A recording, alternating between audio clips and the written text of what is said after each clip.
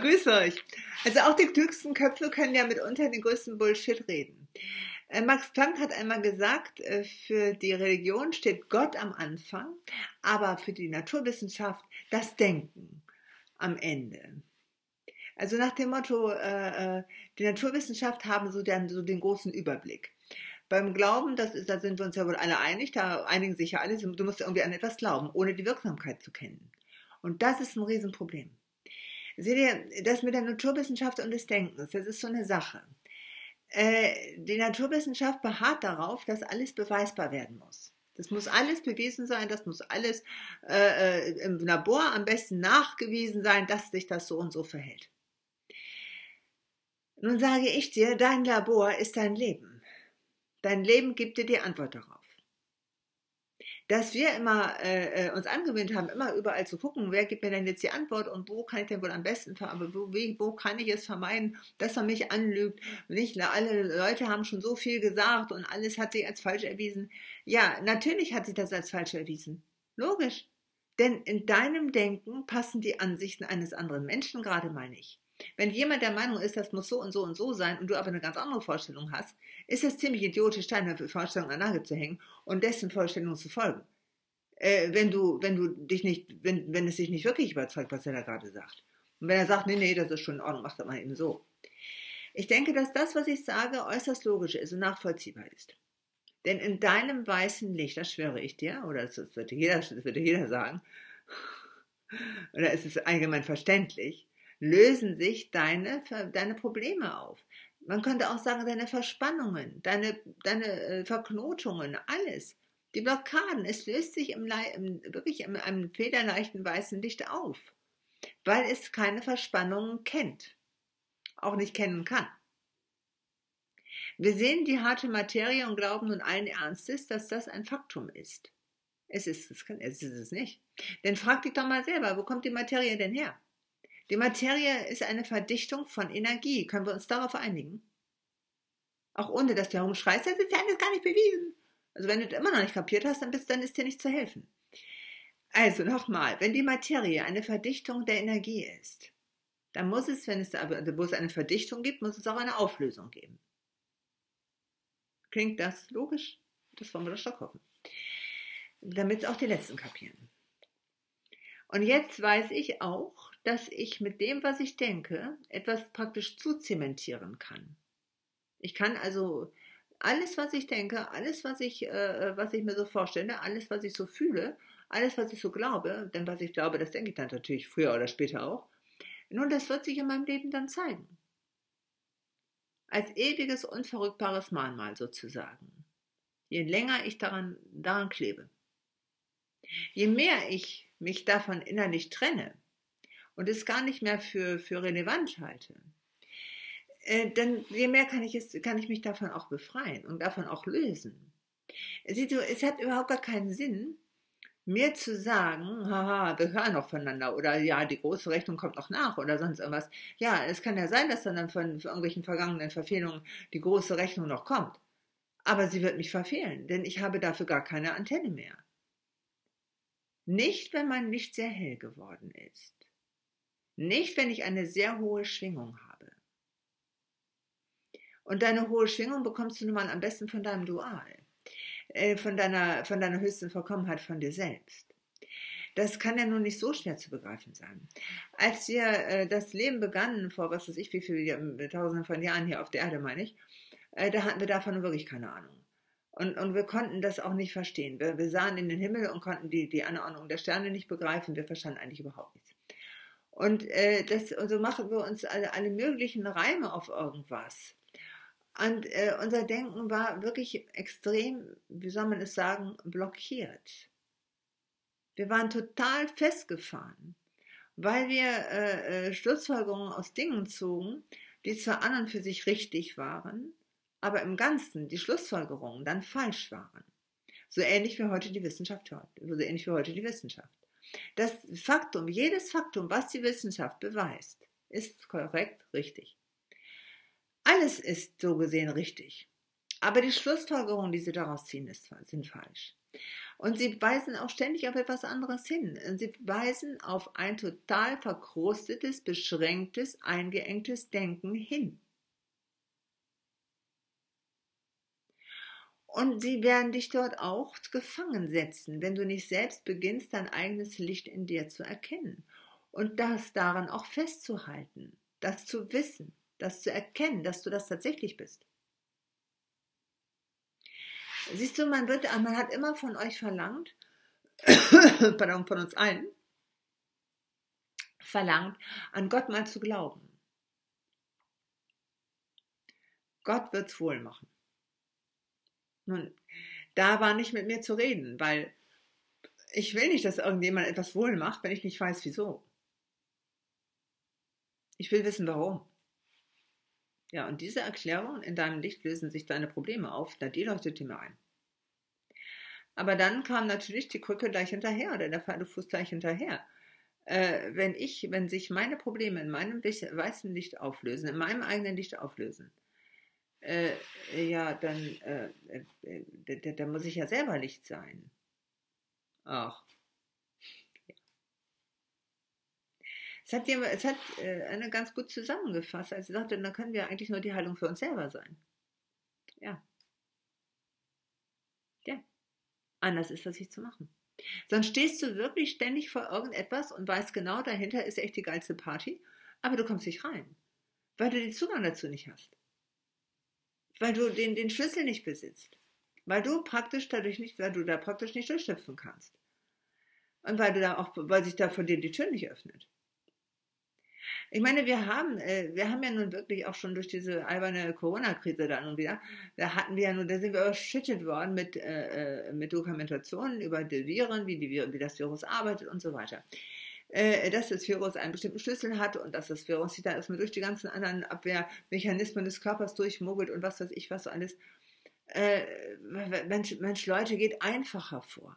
Wenn ein Virus eine bestimmte Schwingung hat und sie zufällig mit deiner Schwingung korrespondiert, wirst du es bekommen.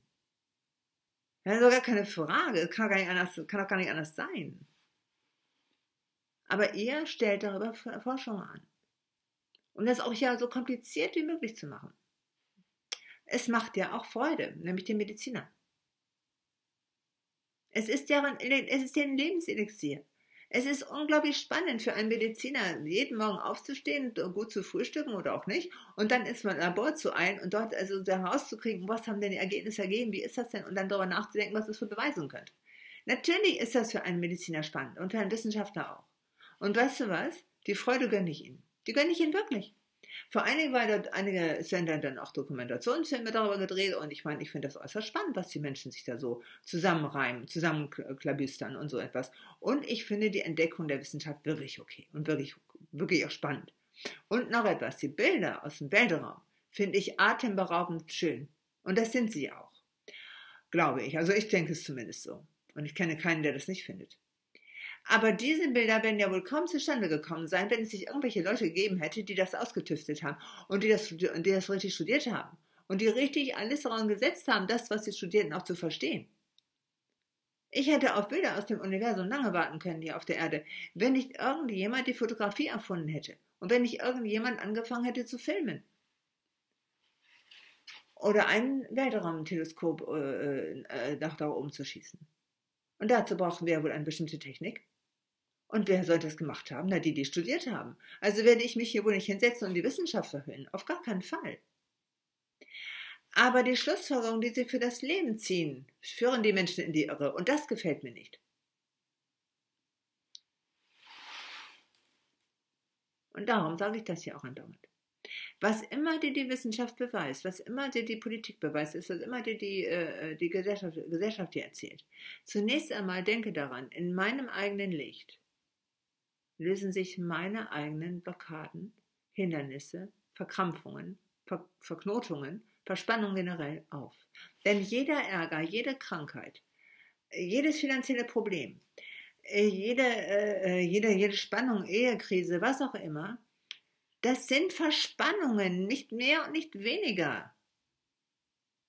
Und die können sich in deinem Leben nicht absolut auflösen. Es kann sein, dass der Mensch, der dir diese Verspannungen eingebrockt hat, sich dann aus deinem Leben verabschiedet. Ja, aber dann ist es ja auch nicht weiter tragisch, nicht? Denn wenn dieser Mensch zur Verspannung beigetragen hat, dann brauchst du ihn ja nicht mehr. Und das ist etwas, was wir verstehen müssen. Unbedingt müssen wir das verstehen, denn sonst haben wir ein kleines Problem. Wir bleiben in der Verspannung. Und das, wie das im Leben so ist, äh, bleibt das hier einfach nur still stehen? Nein. Äh, es geht weiter und führt zu mehr Verspannungen. Sorge ich nun mit dem, was ich sage, für Verspannungen, sorge ich für Irritation, für Wut, für Zorn, ähnliches, ja, dann werde ich wohl eine ganze Menge damit zu tun bekommen. Und das ist der Grund, warum ich es nicht tue. Ganz im Gegenteil, ich sage jedem Menschen, du kannst in deinem eigenen Leben deine eigene Verspannung auflösen, wenn du nur erkennst, dass du selber das Licht bist, in dem sich deine Verspannungen auflösen. Alle. Alle. Da gibt es keine Ausnahme. Bei dieser Regel gibt es überhaupt gar keine Ausnahme. Und außerdem gibt es von einer Regel niemals eine Ausnahme. Ich meine, ein Apfel fällt auch nicht ausnahmsweise immer nach oben. Der fällt nach unten. Und das hat was mit der Anziehungskraft zu tun. Denn alles, was du denkst, alles, was du sagst, hat eine Anziehungskraft. Das heißt, mit allem, was du denkst, mit allem, was du sagst, ziehst du etwas in dein Leben. Ein einziges Mal gedacht und gar nicht. Zwei, dreimal auch nicht. Aber ein immer wiederkehrender Gedanke, der immer wieder, wieder auftaucht. Ja, aber hör mal, der, der zieht doch genau die gleiche Energie an. So, was passiert jetzt, wenn du immer wieder dazwischen schaltest in deinem, in deinem Tagewerk sozusagen? ich bin weißes Licht und mein weißes Licht, in meinem weißen Licht lösen sich meine Verspannungen auf. Was passiert dann? Du wirst eine Unmenge Kristallenergie äh, äh, begegnen und, und, du wirst sie auch bekommen. Und was noch mehr ist, bekommen tun sie nämlich sowieso alle. Was noch mehr ist, ist, du hast jetzt eine Anziehungskraft dafür und jetzt kannst du sie auch empfangen. Jetzt kannst du sie auch einlassen. Mit anderen Worten, deine innere Tür geht dafür auf. Und erzähl mir jetzt nicht, dass du dir nicht vorstellen kannst, dass du nicht auch ein paar äh, äh, Genossen hier auf der Erde kennst, wo die Tür dann nicht so weit aufgeht. Man könnte auch sagen, sie bleibt geschlossen. Es gibt so ein paar. Gibt ja einige, die haben echt ein geniales Leben hier gehabt, ne? echt ein geiles Leben. Sie haben leider nur vergessen, dass sie das geile Leben, was sie da so hatten, auf Kosten eines anderen Menschen äh, führten oder auf Kosten sehr vieler Menschen führten. Und dann ihr Denken total blockiert und besser gesagt sehr, sehr schwer machte. Das Ignorieren von unerträglichen Fakten ähm, ist sehr schwer. Denn hier geht's los. A, gehört das Eingeständnis dazu, verdammt, diese ganzen Probleme habe ich nur, weil ich sie mir mal früher selber eingebrockt habe. B, äh, aber wenn ich es mir eingebrockt habe, dann wird es auch durch mich frei. Aber da muss ich eben auch immer dabei bleiben, äh, äh, wo es denn frei werden kann. Und frei werden tut es immer in einer höheren Schwingung, in einer hoch, einer kristallklaren Energie, in einer Kristallschwingung, in, in einem in weißem Licht, in kristallweißem Licht. Da wird es immer aufgelöst. Auf der Stelle. Wie ein Eiswürfel in einem äh, wirklich äh, 2000 Grad heißen Backofen. Der, der ist in, innerhalb von, was von Sekunde ist er nicht mehr da. Weg ist er. Das heißt, es geht sehr schnell. Aber es hängt eben von deiner Lichthelligkeit ab und auch von dem Licht deines Bewusstseins und auch davon, inwieweit du wirklich klipp und klar dabei bleiben kannst. Ohne gleich mit allen Menschen darüber zu reden und ohne alle Überzeugung zu suchen. Ich meine, ich mache, natürlich überzeuge ich, versuche ich hier Menschen davon zu überzeugen, aber ich versuche sie, und ich hoffe, das ist mittlerweile klar und auch hoffentlich ein bisschen bekannt, äh, dass ich hier nicht äh, euch irgendwelche Präparate verkaufe. Ich meine, ich halte hier nichts in der, in der Luft und sage, hier, das musst du mal kaufen. Also nichts da, da, da gibt es nichts. Also es reicht an deinem Bewusstsein. Alles, was du in deinem Leben vorfindest, äh, spiegelt dein Bewusstsein wieder. Auch dein Bewusstsein dafür, ob es ein Problem ist oder nicht. Vieles ist auch in meinem Leben, wo ich denke, naja, das hätte jetzt eigentlich nicht gebraucht. Nein, wirklich nicht.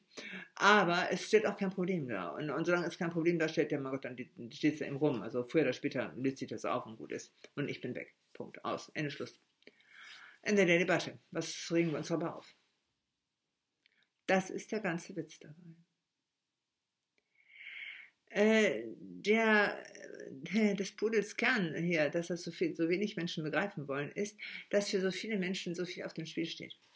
Viele der Menschen können es sich schlechterdings nicht leisten, dass, die, dass das Gros der Menschen das begreift.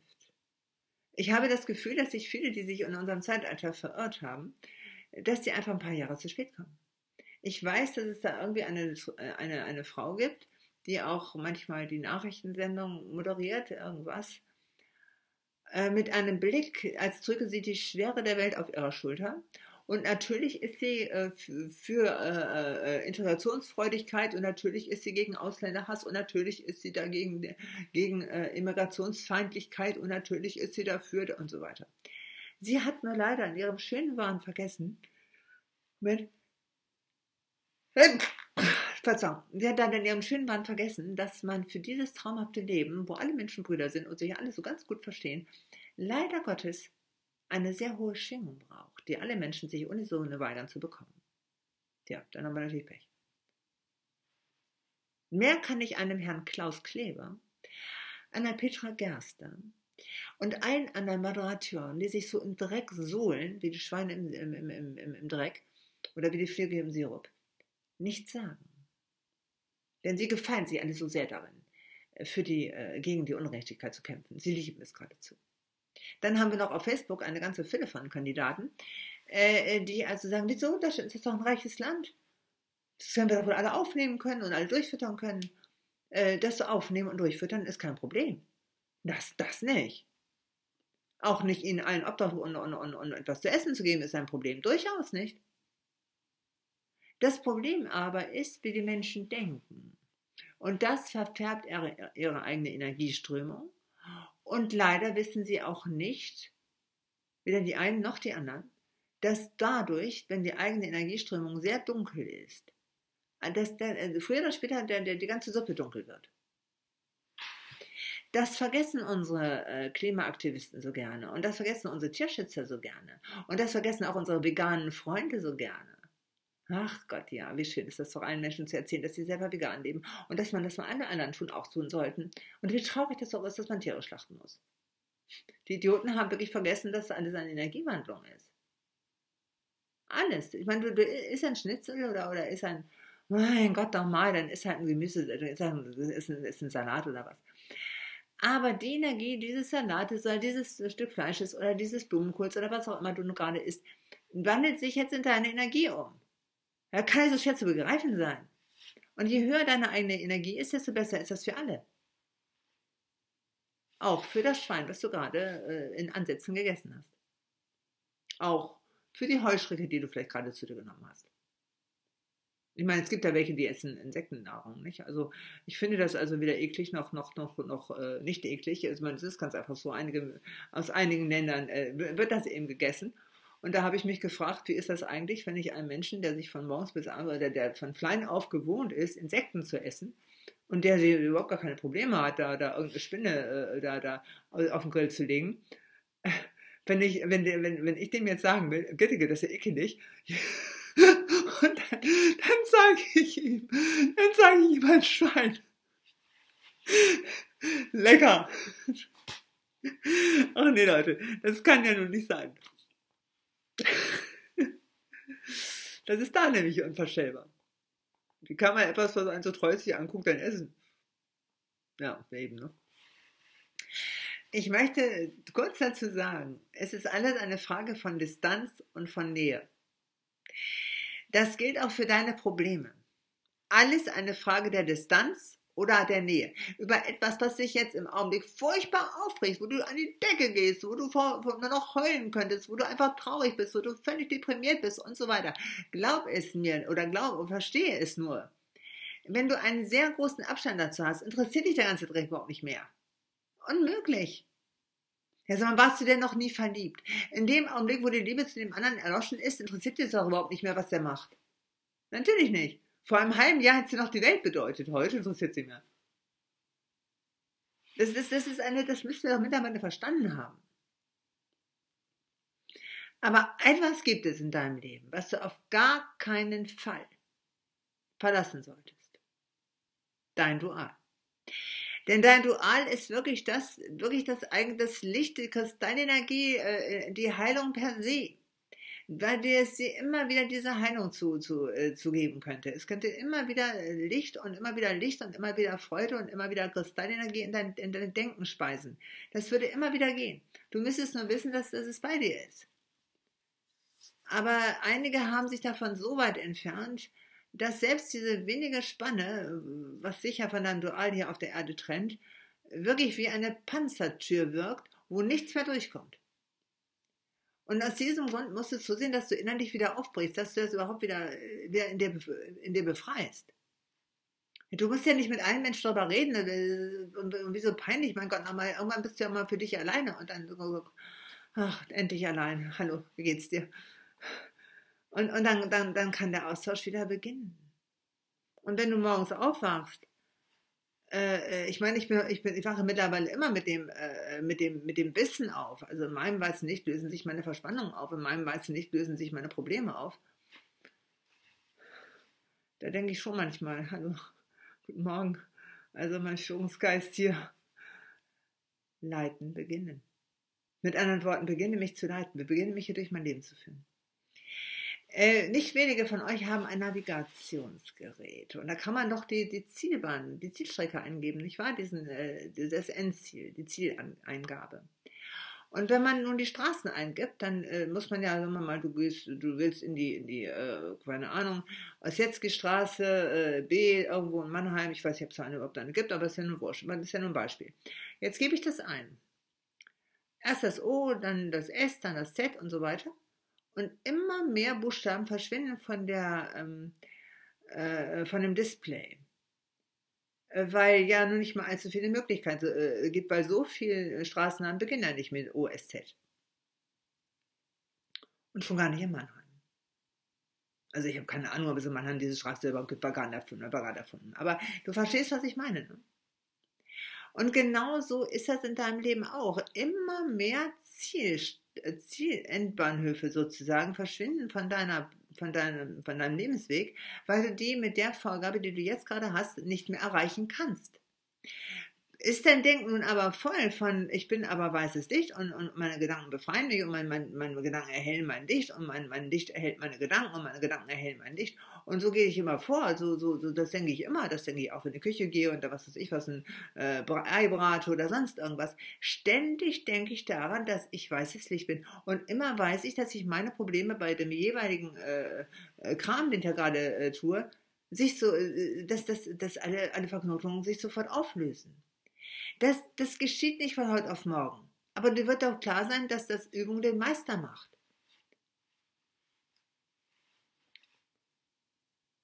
Kathi Witt gilt als eine der erfolgreichsten Eiskunstläufer der Welt. Ich glaube, Eiskunstläuferin der Welt. Aber ich nehme nicht an, dass sie mit neun Jahren schon so Eislaufen konnte, wie sie später mit 16 konnte.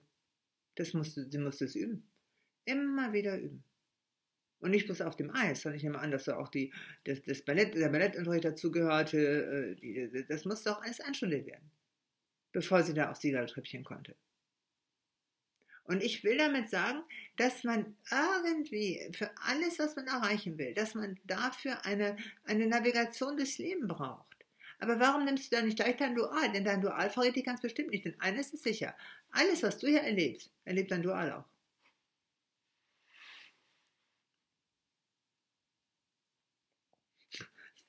Ich erzähle mal einen Schwank aus meinem Leben, ja. Äh, ich hatte, als ich so mit meiner Glaubenskarriere anfing, das war so Mitte der 90er Jahre, äh, da kam ich irgendwie in einen Gottesdienst, weiß der Himmel wieso, und äh, anschließend gab es noch so ein, so, konnte man jeder so sein, sein noch mal kurz innehalten, für sich selber noch so ein Zwiegespräch mit Gott anfangen und so etwas. Und auf einmal fing ich so an zu heulen. Also ich, ich kriegte mich überhaupt nicht wieder ein. Ich war am Heulen, am Heulen, am Heulen. Und dann kam eine, löste sich aus, aus einer anderen Gruppe und sagte, ich, so, Jesus hat, hat mir gerade gesagt, als du so weintest, als was du da erlitten hast, da hat er mitgeweint. Und dann weinte ich noch mehr, weil ich nämlich wusste, dass Christus bestimmt nicht mit dir leidet.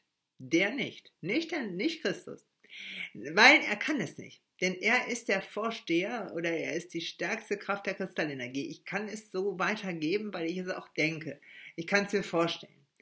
Es muss ja was Besonderes mit Jesus Christus sein, sonst würden wir ja nicht 2000 Jahre nach seinem Tod immer noch von ihm reden. Also, da muss ja was dran sein. Aber wie es auch immer ist, Christus selber leidet nicht mit dir. Auf gar keinen Fall. Er gibt dir Kristallenergie, damit du das Leid überwindest. Ja. Aber es gibt etwas in deinem Leben, das leidet wirklich mit dir. Dein Dual. Aber dein Dual ist genauso randvoll mit Kristallenergie wie Jesus Christus selbst. Nur, es hat mit dir einen sehr persönlichen Bezug. Es geht jeden Schritt mit dir. Wirklich jeden Schritt mit dir. Wo immer du dein Dual hinführst, es geht mit. Und manchmal bricht ihm dabei das Herz. Dein Dual schon. Weil es will eine Nähe zu dir. Es will mit dir zusammen sein. Es will mit dir verwachsen. Es will mit dir eine Eins, eine ein, ein, wieder eins sein. Und vieles, was wir tun, entfernt uns genau von ihm. Und es bricht deinem Dual buchstäblich das Herz. Es liebt dich so sehr, wie du, wie du nur irgendwann mal irgendein Mensch geliebt hast. Äh, wir waren da schon alle mal verliebt und wir wissen, wie das ist, wie irre man, wie, wie man verzweifelt ist, wie irre man verliebt sein kann. Und das kotzt einen an, wenn man, oder es, es, es ist einfach furchtbar, wenn der Mensch einem überhaupt nicht beachtet. Das war wirklich furchtbar. Und so wie dein, dein, dein Dual äh, sich verzweifelt nach dir die Augen ausge, ausgeschaut hat, obwohl es immer ganz genau wusste, wo du bist. So möchtest du bitte wieder deinen Blick dahin richten. Einfach nur, damit ihr wieder eine Einheit bilden könnt. Damit ihr gut euer Leben besteht. Versteh mich bitte recht, es ist euer Leben. Es ist auch dein Leben. Natürlich ist es dein Leben. Klar, du, du, du bist der Einzige, der von euch beiden hier für uns alle sichtbar ist. Aber äh, hinter dir steht ein Dual. Und hofft nur, dass du mit allem, was du denkst, mit allem, was du tust, eine Verbindung zu ihm kriegst. Nun, äh, äh, wenn du wissen willst, wie dein Dual heißt, also ich kann hier nur einen, einen ganz allgemeinen Tipp geben, nämlich den, es ist meistens die Vermännlichung oder die Verweiblichung des eigenen Vornamens. Aber äh, es gibt auch welche, die heißen dann irgendwie, heißen dann irgendwie einen Doppelnamen oder sowas, aber dann musst, das musst du gucken, bei wem du dich wirklich wohlfühlst. Auf einmal schießt dir das den Sinn. Und wenn dir etwas durch den Sinn kommt oder in den Sinn kommt, stell das jemals in Frage. Frage dich nur, gebrauchst du das jetzt? Kannst du es jetzt überhaupt gebrauchen?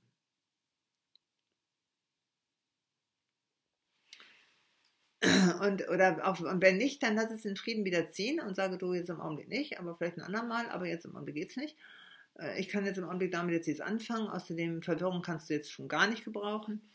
Was du jetzt immer gebrauchen kannst, aber keine Verwirrung.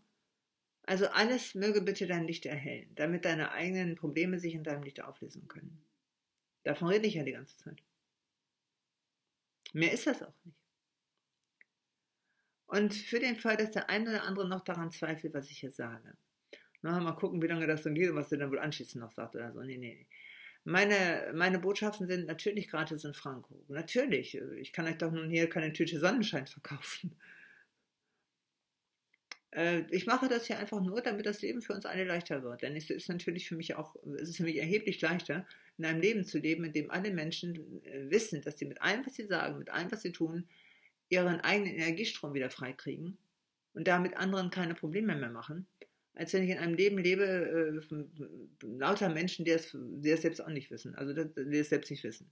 Das ist blöd, weil dann muss man Ach, da muss man immer so diese ganz schmalen Seitengassen da benutzen, und, und, um da wieder um von denen wieder wegzukommen. Also, ach Gott, das ist alles so ärgerlich, weil es, es braucht nicht.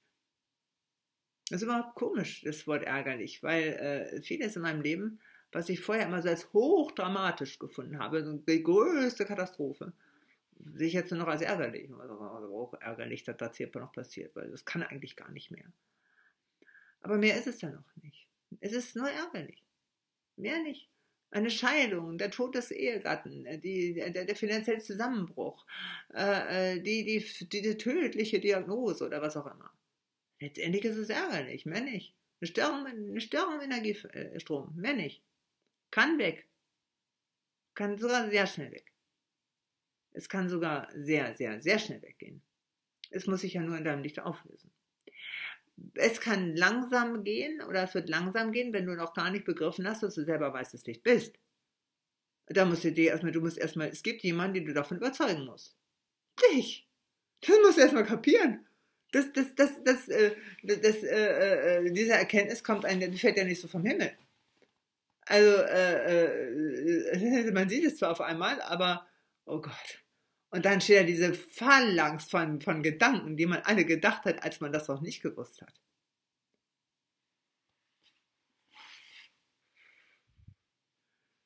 Ringer, Ding, Ding. Das kann manchmal ganz schön.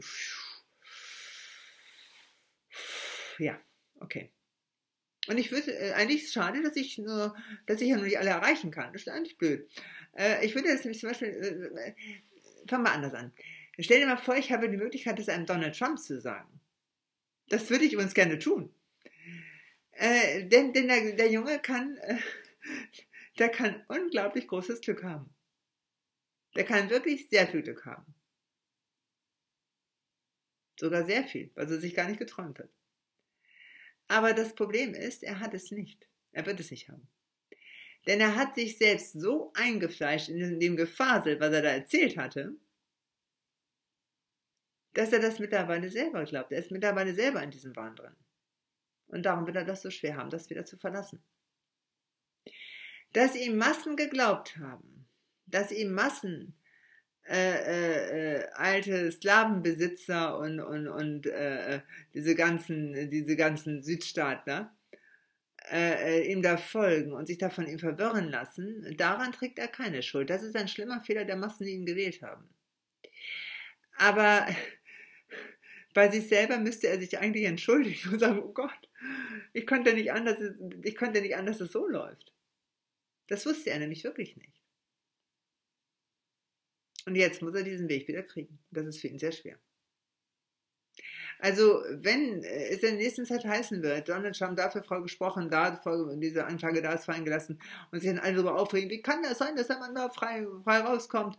Ja, mach dir keine Sorgen. Was das angeht, haben wir alle einen langen Weg wieder vor uns, um die ganzen Irrtümer, den wir allen anderen aufgebürdet haben, einschließlich uns selbst, um uns davon wieder zu befreien. So einfach ist das nicht. Das würde ich auch gerne zu einem Putin sagen oder zu irgendeinem äh, Machthaber in irgendeinem anderen Land. Aber die Möglichkeit habe ich nicht, obwohl einige Deutsch sprechen. Aber sie werden meine Worte nicht hören und nicht hören wollen. Und eine ausgeflippte Medienwelt, die sie also von lauter Rachegedanken nicht mehr zu lassen weiß, will das auch nicht hören. Tja, jetzt kommt es drauf an. Die Worte, die du jetzt gehört hast, die, äh, der hast du nun gehört. Oh. Jetzt habe ich dir etwas eingebrockt, was? Tja, keine Rachegedanken mehr. Keiner Tag der Abrechnung mehr keine äh, äh, schlussendliches äh, Klärung, klärendes Gespräch. Äh, keines, äh, äh, jetzt bringen wir sie erstmal alle mal vor, vor, vor Gericht oder sonst irgendwas mehr. Was der Kerl mir angetan hat, weißt du eigentlich, wie alt ich war? Weißt du, ich war doch erst sechs oder was weiß ich was alles. Ja, das Problem war, dass du in der Nähe von so etwas warst. Und dahin hast du dich nicht erst in, diesem Leben, in dieses Leben begeben.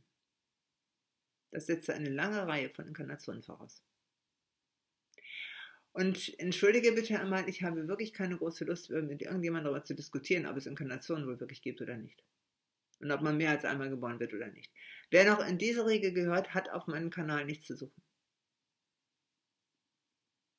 Aber ich bin ziemlich sicher, dass die, die mir zugehört haben, das durchaus begreifen können und auch begreifen wollen. Bei denen mich wirklich aus dem Schlamm raus wollen und sich nicht daran so ergötzen, anderen Probleme zu machen oder über Probleme zu debattieren. Während ich spreche, findet gerade irgendwo anders eine Versammlung statt, um dann äh, die neuesten Pläne für den äh, Schutz der Natur und, und für die, äh, also die neuesten Pläne für Klimaaktivisten zu entwerfen. Wissen die eigentlich, was sie sich anbrocken?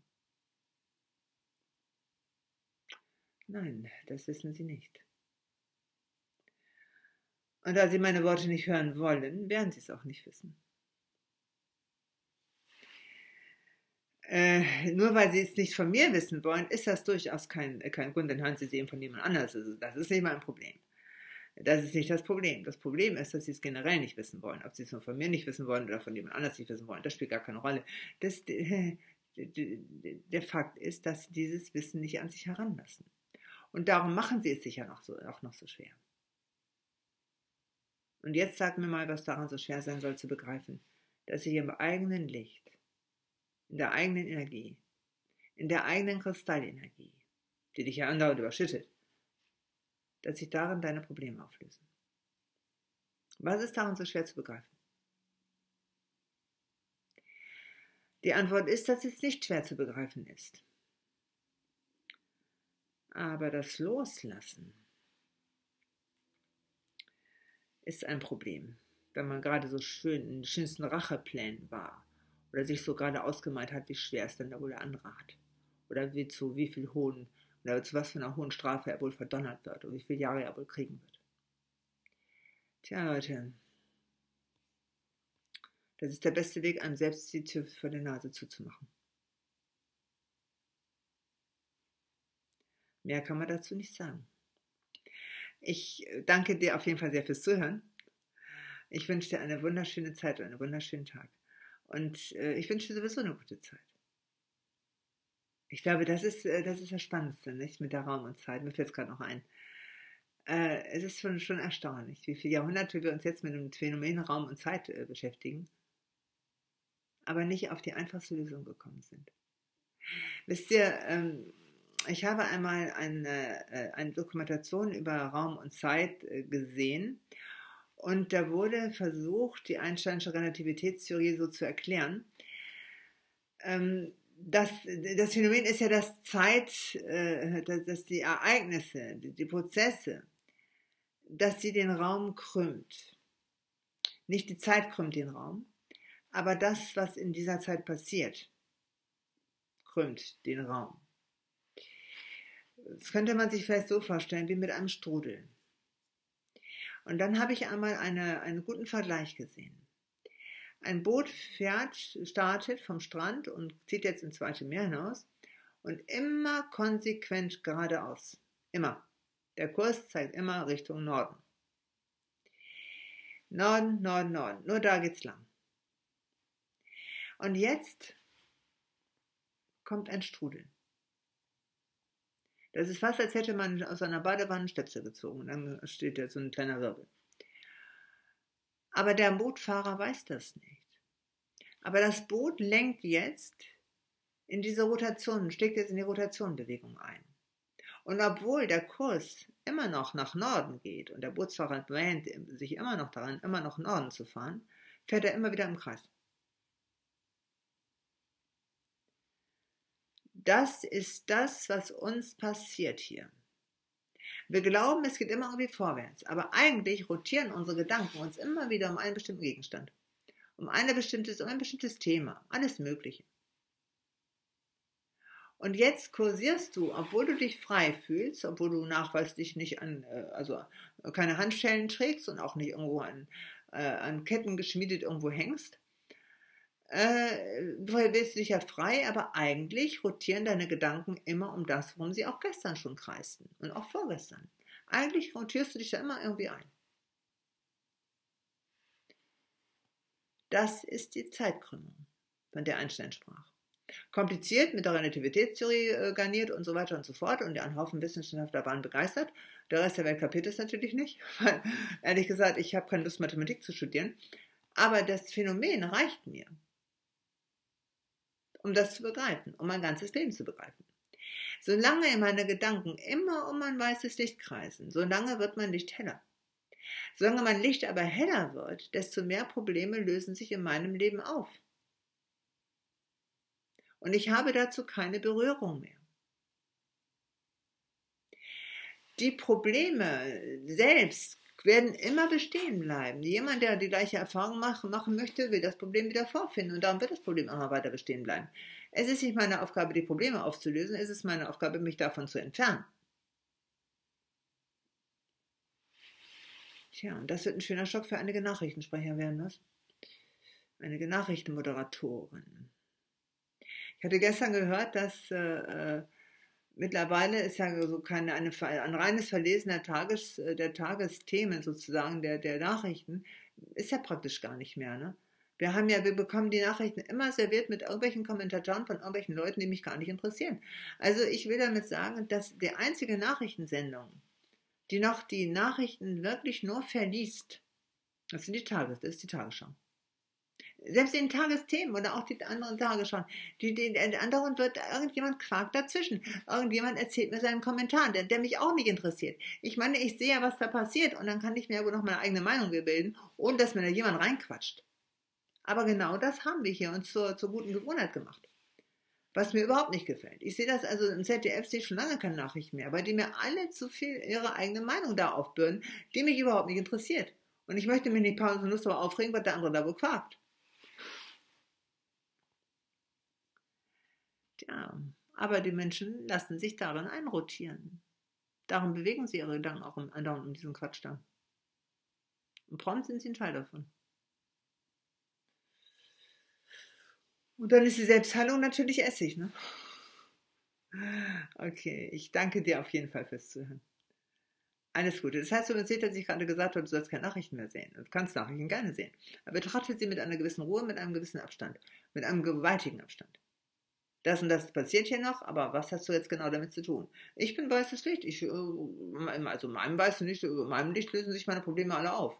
Und je mehr Probleme sich äh, in meinem Licht auflösen, desto heller ist mein eigenes Licht. Das ist eine Win-Win-Situation, bis zum geht nicht was. Wenn ich, wenn ich etwas Licht habe und jetzt löse ich mein Problem äh, in meinem Licht auf, dann habe ich mehr Licht zur Verfügung und mehr Licht zur Verfügung und mehr Licht zur Verfügung. Wir haben, also in der Bibel haben wir gehört, ich bekomme, äh, irgendjemand bekommt da zwei Talente und dann macht er daraus vier. Und dann wird er dafür auch noch belohnt. Toll. Mach das doch, verstehen wir das bitte nicht? Oder verstehen wir es doch bitte endlich mal. Niemand gibt dir ein Talent, aber in dem Moment, wo du begriffen hast, dass du selbst Licht bist, wirst du dir dadurch, dass du deine Probleme alle auflöst, nämlich in deinem Licht, dein eigenes Licht erhellen. Und so lösen sich deine Probleme auf. Am Anfang geht das auch schleppend, zäh, mein Gott. Und es ist dann auch anstrengend, noch, aber irgendwann lässt das nach. Ich wünsche dir wirklich alles Gute. Und danke fürs Zuhören.